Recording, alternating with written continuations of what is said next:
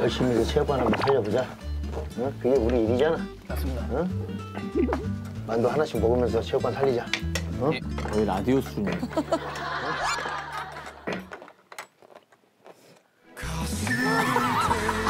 왜 저걸 왜 저걸 저렇게 거야? 아, 한 입으로 반을 나눠 먹을 수 있지 않습니까? 있죠. 근데 저렇게 넣어야만 맛이 맛있어요. 좀 넣고 싶고 이제. 아 또 게시판에 또 식사 예절을 지키지 않아서 있어야죠. 보기 불편했다는 의견.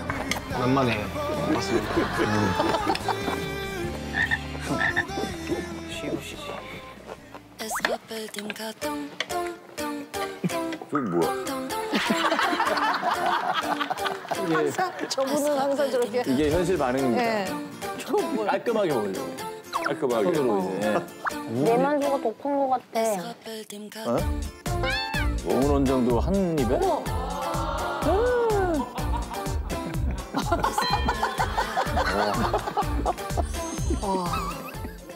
잘 먹습니다. 고맙습니다. 계산 좀. 예, 예. 야, 만두 가고 줘야 될 거 아니야.